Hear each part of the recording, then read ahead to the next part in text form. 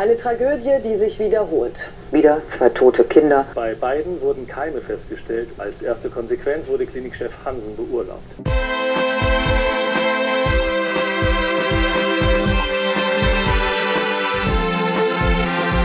Wie viele Bremerinnen und Bremer haben mich in dieser Woche insbesondere die neuen Schlagzeilen über den Keimskandal an dem Bremer Klinikum bewegt.